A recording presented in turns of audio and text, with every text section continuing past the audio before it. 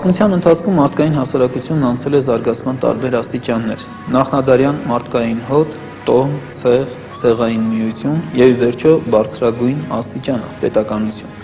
Երբ ենք մենք հայերս հասել պետականության աստիճանի։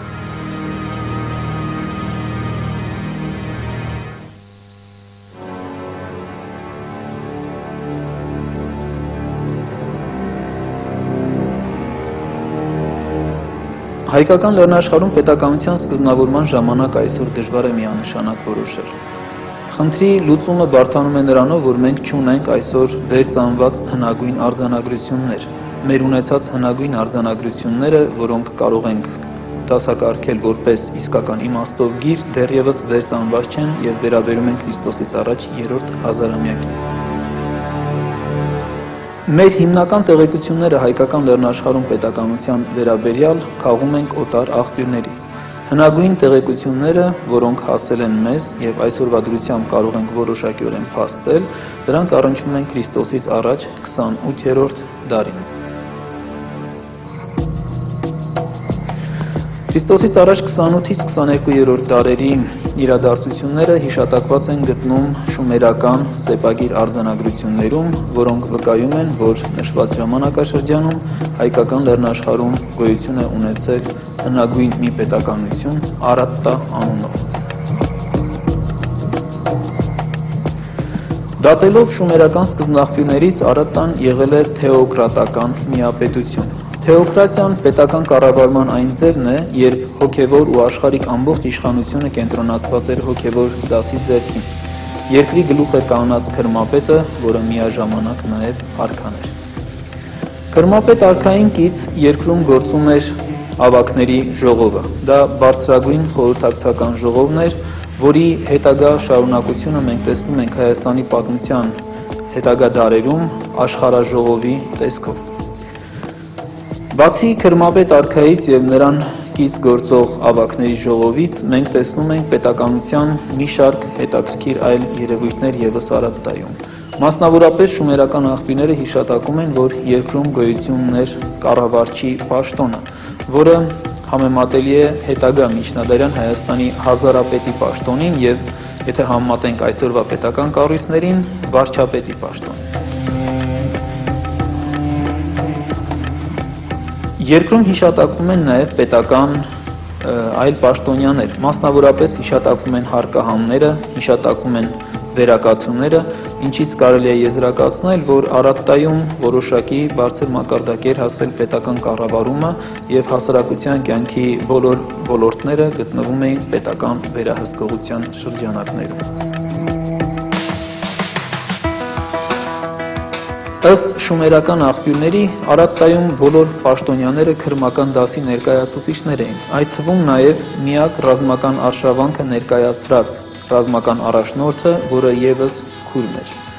Այլ կերպ ասած, մենք տեսնում ենք թեոկրատական պետության դասական մոդելը Քրիստոսից առաջ 28-րդ դարից սկսած եւ այդ ժամանակաշրջանում մենք տեսնում ենք, որ նույնպիսի թեոկրատական կարգեր էին կարգեր են գոյություն ունեցել Եգիպտոսում, Շումերում, նույն ժամանակաշրջանում։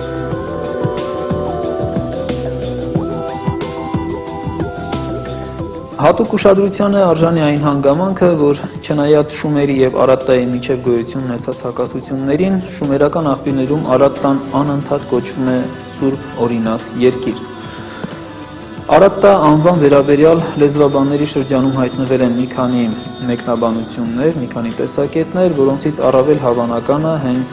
Արթա արմատն է հնդեվրոպական, որը նշանակել է սուրբ օրենք, սուրբ կարգ եւ թերևս սա անմիջականորեն կապվում է շումերական աղբյուրներում Արատտա երկրին տրված սուրբ օրինաց երկիր Մագդիրի հետ։ Բացի այս Մագդիր պատվանունից չափազանց հետաքրքիր այն հանգամանքը, որ ըստ շումերական հնագույն միջագետքյան պատկերացումների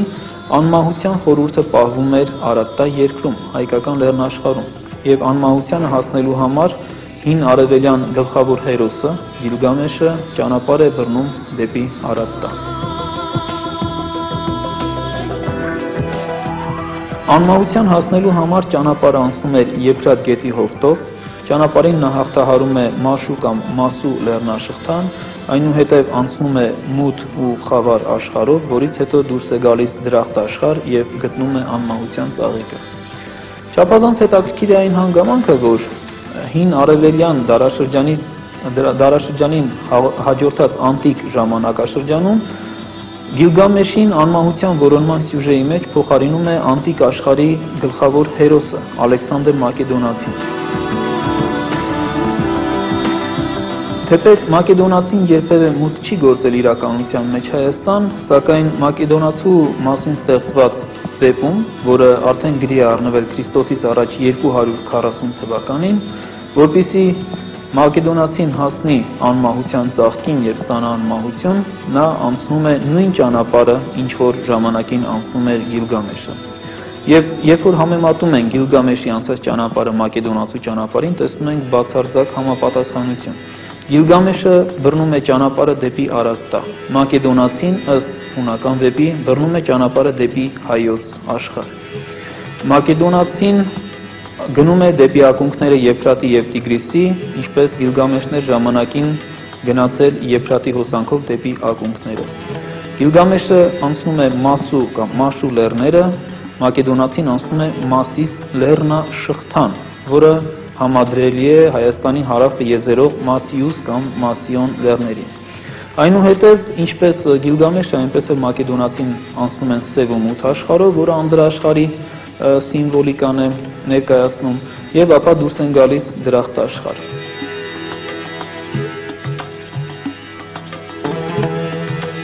Արարչագործության եւ անմահության որոնման սյուժեներից բացի չափազանց հետաքրքիր է, որ Արատտա երկրի հետ է կապվում նաեւ համաշխարային ջրհեղեղի մասին մեզ ասած ամենավաղ պատմությունը։ Դեռևս 1872 թվականին անգլիացի երիտասարդ ու տաղանդավոր արևելագետ Ջորջ Սմիթը վերծանեց համաշխարհային ջրեղեղի մասին Բաբելոնյան պատմությունը, որը իր բոլոր մանրամասներով նույնանում էր Աստվածաշնչյան ջրեղեղի պատմության հետ։ 1914 թվականին հայտնաբերվեց ջրեղեղի պատմության ամենահին գրառումը, շումերական գրառումը, որում դժբախտաբար վնասվածության պատճառով բացակայում էր այն տեղանքի անունը, որտեղ ցած է, որտեղ հանգրվանել է ջրեղեղից փրկող տապանը։ Բարեբախտաբար հետագայում հայտնաբերվեց եւ 1952 թվականին առաջին անգամ լույս տեսավ, իսկ հետագայում լրացումներ նաեւ տեղի ունեցան շումերական մեկ այլ բնագիր, որտեղ որը գալիս էր լրացնելու 14 թվականին հայտնաբերված բնագրի տեղեկությունները եւ որում բառացիորեն նշվում էր Արատտայի մասին, որ Արատտան էր այն տեղը, որը կանգուն մնաց ջրհեղեղի մեջ այն ժամանակ, երբ ջրհեղեղը սրբեց ամեն բան։ Այսինքն շումերական աղբյուրների Արատտան լիարժեքորեն համապատասխանում է Աստվածաշնչյան Արարատին,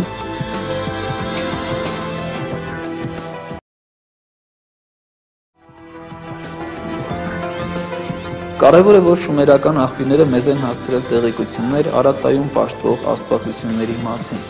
Մասնավորապես դրանցից մենք իմանում ենք, որ Արատայի հովանավոր գլխավոր աստվածությունը համարվել է Դումուզի աստվածը։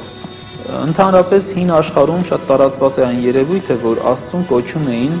ոչ թե իր հենց տեղական անունով, այլ ամեն մի ժողովուրդ կոչում էր իր համարժեք Աստծո անվամբ թարգմանելով։ Դումուզին շումերական աղբյուրներում համապատասխանում է հունական Օրիոնին եւ հայկական Հայկ աստվածությանը։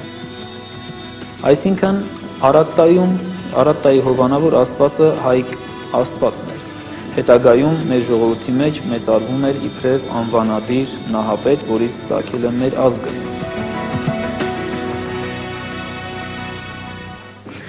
Չափազանց կարևոր մեկ այլ տեղեկություն եւս պահպանել են շումերական աղբյուրները, որը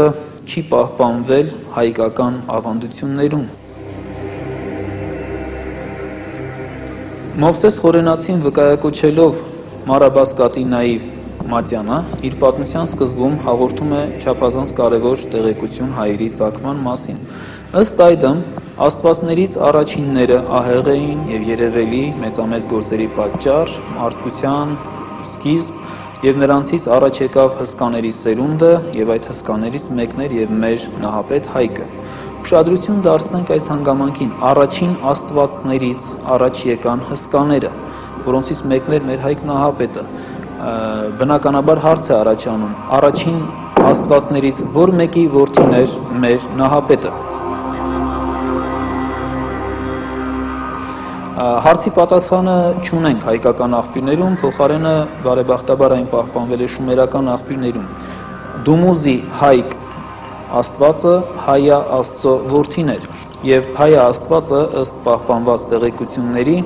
այն Աստվածն էր, առաջին 7 աստվածներից իմասնագույնը, որը հիմք դրեց մարդկային ցեղին եւ շատ հետաքրքիր մի մանրամասն։ Նա էր, որ կավից Աստծո պատկերով եւ նմանությամբ ստեղծեց մարդկային ցեղը։ Այս տեղեկությունը, որ գրի է առել շումերական աղբյուրը, մեզ հասել է եւ թվագրվում է Աստվածաշնչի գրի առնվելուց ավելի քան 1000 տարի ավելի վաղ։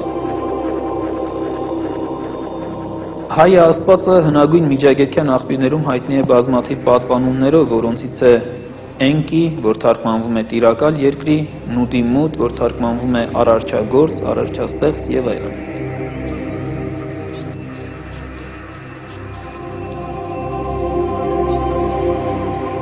Այսպիսով շումերական աղբյուրների շնորհիվ մեր առջև բացվում է հայոց ցակունաբանության կարևոր եւ մոռացված էջերից մեկը, որի համաձայն մենք հայերս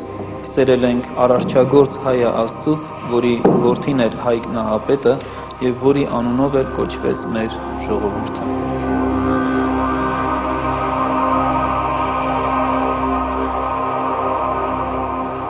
Հնագույն արձանագրություններում մենք հանդիպում ենք երկրանունների գրության երկու տարածված ձև։ Դրանցից մեկում ուղակի հնչյունային գրությամբ գրվում էր երկրանունը, մեկ այլ ձև, որ նույնպես շատ տարածված էր, երկրանվան փոխարեն նշվում էր նրա գաղափարագիրը, գաղափարանշանը։ Շատ հետաքրքիր այն հանգամանքը, որ մենք Արատտա անունը երբեմն տեսնում ենք գրված Սուբուր կամ Շուբրիա երկրանվան գաղափարանշանով, որը նույն հայա երկիրն է, երկլեզու արձանագրություններում Շուբուր Շուբրիա անվանը համապատասխանում է հայա երկիրը եւ նույն Շուբուր երկրին համապատասխանում է նաեւ Արմանի Արմե երկրանունը։ Եվ պատահական չէ, որ մասնագիտական գրականության մեջ շատ հաճախ Արմե Շուբրիա բաղադրյալ ձևով է նշվում այդ երկիրը։ Այսինքն տվյալ դեպքում մենք ունենք շատ հետաքրքիր մի փաստ։ Արատտա անունը փոխարինվում է հաճախ Շուբուր, Հայա եւ Արմանի երկրանուններով, ինչը ցույց է տալիս, որ այս անվանումները մեկ երկրին միևնույն ժողովրդի երկրին տրված տարբեր անվանումներ են եւ այս անվանումները մեզ են հասել Քրիստոսից առաջ 28-ից մինչև 22-րդ դարերում արձանագրված վիճակում առաջին անգամ 28-րդ դարում Արատտան, այնուհետև 26-րդ դարից սկսած Հայան եւ Սուբուր կամ Շուբուրը, իսկ 24-րդ դարից սկսած Արմանի երկրանունը։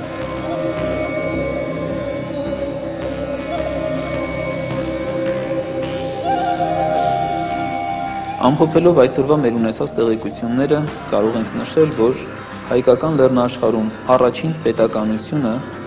արձանագրված հիշատակվում է Քրիստոսից առաջ 28-րդ դարից սկսած։ Այն եղել է իր կարգերով թեոկրատական միապետություն, իր կայացած պետական համակարգով։ Համակարգի գլուխ կանգնած էր քրմապետ արքան, քրմապետ արքային կից գործում էր բարձրագույն խորհրդակցական ժողովը, ավակների ժողովը, երկրում երկրի տնտեսական ոլորտը կառավարում էր կառավարիչը, եւ հայտնի են նաեւ մի շարք պաշտոնյաներ, ռազմական արշավանքը իրականացնողը, որ հետագա Հայաստանի սպարապետի նման մի պաշտոն պետք է լիներ, հարկահավաքներ, վերակացումներ եւ այլն։ Քրիստոսից առաջ 28-րդ դարում տեսնելով պետականության զարգացման նման բարձր մակարդակ, նման կայացած համակարգ, ինչ խոսք չի կարելի ենթադրել, թե պետականությունը ստեղծվել է հենց կարճ ժամանակում անմիջապես առանց նախապատմության եւ կարելի է եզրակացնել, որ մինչև Քրիստոսից առաջ 28-րդ դարը, մինչև շումերական աղբյուրներում հիշատակվելը, պետականությունը Հայաստանում պետք է որ անցած լիներ զարգացման որոշակի եւ բավականին երկար բազմադարյան ճանապարհ, ուստի եւ պետականության ծնունդը հայկական լեռնաշխարհում կարելի է թվագրել Քրիստոսից առաջ 4-րդ հազարամյակի երկրորդ կեսով։ Իսկ Քրիստոսից առաջ 4-րդ հազարամյակի երկրորդ կեսը հենց այն ժամանակաշրջանն է, երբ ծնունդ են առել համաշխարհային պատմության մեջ մինչ օրս հայտնի հնագույն պետականությունները՝ Եգիպտոսը և Շումերը։ Այսինքն՝ օտար աղբյուրների տեղեկությունների հիման վրա որոշակիորեն այսօր կարելի է պնդել, որ հայկական լեռնաշխարհում մարդկային հասարակության կազմակերպման բարձրագույն ձևին պետականությանը հասել են մեր նախնիները դեռևս Քրիստոսից առաջ 4-րդ հազարամյակի երկրորդ կեսին, և մեր պետականությունը հասակակից է աշխարհի հնագույն պետականությունների։